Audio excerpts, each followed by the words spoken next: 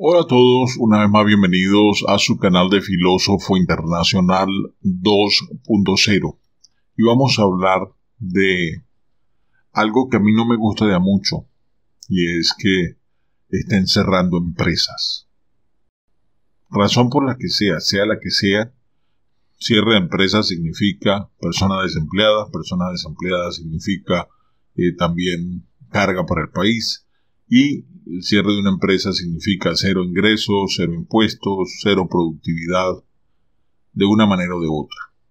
Bien, vamos a hablar específicamente de una empresa que fue cerrada en Colombia y que los paisas la extrañan mucho. Antes de entrar en materia, me gustaría pedirte que te suscribas al canal, que me sigas en TikTok como arroba filósofo777USA. Quiero que te enteres también que ya está funcionando nuestra página web filósofo777.com y también te recuerdo los cursos para que ganes dinero de manera autodidacta desde tu casa aprendiendo un arte. Enlace en la descripción. Te recuerdo que si estás en Venezuela, Cuba o Nicaragua deberás ver el video que está en ese enlace para que instales un VPN. Si estás fuera de Venezuela, Cuba o Nicaragua no tienes que ver el video, simplemente ojea el contenido del curso que te interese y listo. Procede a adquirirlo Recuerda que todos están con un descuento. Hay unos que tienen 50%, 60%, 70% de descuento. Así que aprovecha. Bien, entramos en materia y es que la Super Sociedades de Colombia anunció que inhabilitó por ocho años al ex eh, representante legal de la Sociedad Constructora Conime, SAS, empresa que ya entró en liquidación judicial en Colombia.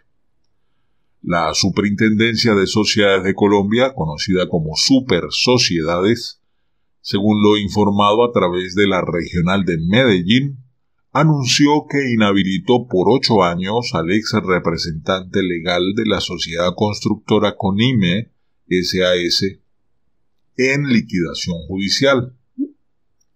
La restricción para ejercer el comercio llevó a cabo por destrucción total del activo objeto de adjudicación, de acuerdo con la entidad vigilante. Esta empresa se dedicaba a la industria de la construcción en cuatro áreas específicas de la ingeniería, en lo que era la parte metalmecánica, lo que era civil, eléctrica y telecomunicaciones.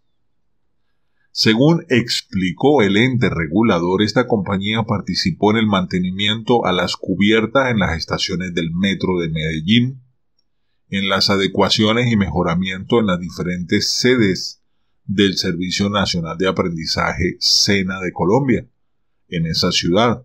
También apoyó en la construcción de bloques para la Universidad Nacional y realizó intervenciones y mejoramientos de escuelas para municipios de, de Copacabana y de Barbosa, entre otros municipios. Durante la audiencia, el juez eh, del concurso estableció que el sancionado generó la pérdida total del patrimonio de la sociedad durante una reorganización empresarial, lo cual pasó de tener un patrimonio de más de 10.323 millones de pesos en el proceso de recuperación a una ausencia total de sus activos con un reporte de cero pesos. ¿eh? O sea, hubo un error hubo una omisión por parte del propietario, no sé, se cogió los reales, los desvió, los transfirió, los... Y aunque haya hecho esto, que lo que es bastante malo, es grave, yo no creo que cerrar una empresa sería la salida, sobre todo porque tiene maquinarias. Por lo anterior se aplicaron las causales previstas en el artículo 83, numeral 3 y 4 de la ley 1116 del año 2006, teniendo como base el detrimento real del activo y la destrucción de los bienes que conformaban el patrimonio reportado. La Super Sociedades indicó que tanto el ex representante legal de la sociedad como sus apoderados no se presentaron durante el proceso liquidatorio, pese a los distintos requerimientos realizados por el juez. Continuamos apoyando la recuperación de las empresas viables, velando por el cumplimiento de las garantías legales que contribuyen a la recuperación del empleo y al trabajo digno. Así finalizó la entidad. Bien, ¿Qué es lo que no me gusta? Pues obviamente esto. Una, una, una, de, una sanción definitoria donde se debió haber manejado de otra manera, a mi parecer. ¿Por qué? Porque si yo veo que una empresa está haciendo algo absurdo, lo lógico no es dejar a tantas personas desempleadas. Y aunque no estoy de acuerdo con las expropiaciones, en un caso como este podría ser considerado en un aspecto legal que se cree una nueva junta administradora con los miembros, los que trabajan allí en la empresa, que esté vigilada, que esté intervenida por la sociedad de capitales, que meta en la cárcel al culpable que se agarró los reales, que debió los reales, que transfirió los reales, en fin, que lo lleve a la cárcel y lo haga pagar, bueno, hasta por el modo de caminar, pero que la empresa no se detenga. Ese es mi concepto. Usted sabe cuántas personas quedan sin trabajo y cuánta, cuánto lo va a extrañar la ciudad, porque imagínate que esta empresa tenía tanto capital, era porque conseguía el apoyo de contratos, ahí está, eh, para reparar el SENA no es algo que se lo daban así como así a cualquiera. Para reparar la Universidad Nacional tampoco. Para reparar el metro de Medellín tampoco. O sea, tenía de dónde había fuente de ingresos.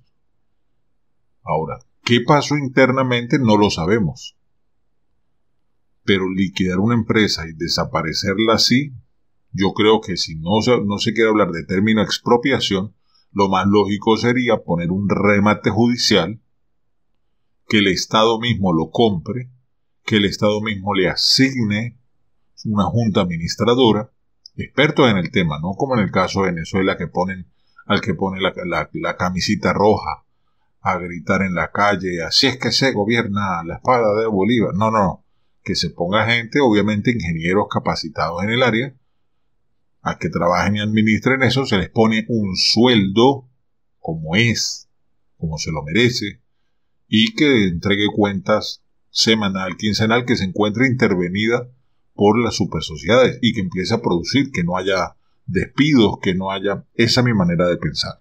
No sé si estarás de acuerdo conmigo, dímelo, porque me gustaría conocer tu opinión referente a este tema.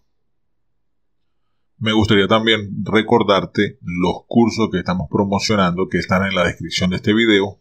Por favor, visita nuestra página web. Nuestra página web todavía está en construcción, pero ya está visible, está pública. Bien, se llama filósofo777.com. Pasa por allá.